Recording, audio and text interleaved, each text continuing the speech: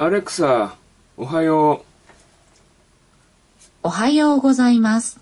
今日は、機動戦士ガンダムシードディスティニーのメインヒロインの一人、ラクス・クラインの誕生日です。スペースコロニーであるプラントの歌姫で、市民からの人気が絶大な反面、政治結社ザフトとの決別の際の行動から、悪女と言われることもあります。